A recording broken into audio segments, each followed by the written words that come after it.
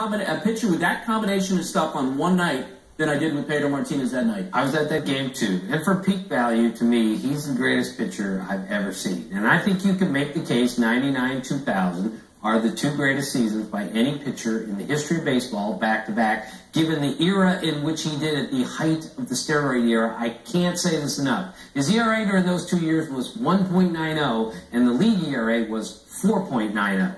And as for the pitches, I think you can make the case that at some point in his career, he had the best fastball, curveball, and changeup at the same time. Give me another pitcher in baseball history that had the three best at any point. I say no. And there's some compared to his era over his career, he's number one all time among all starting pitchers.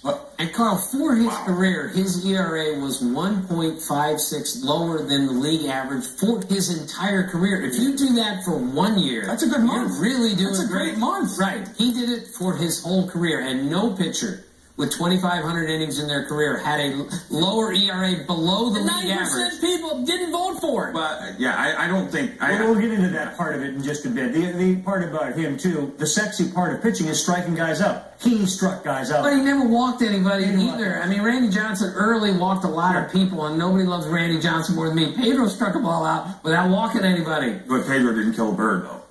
He did not kill a bird. No, he did not. And John Smoltz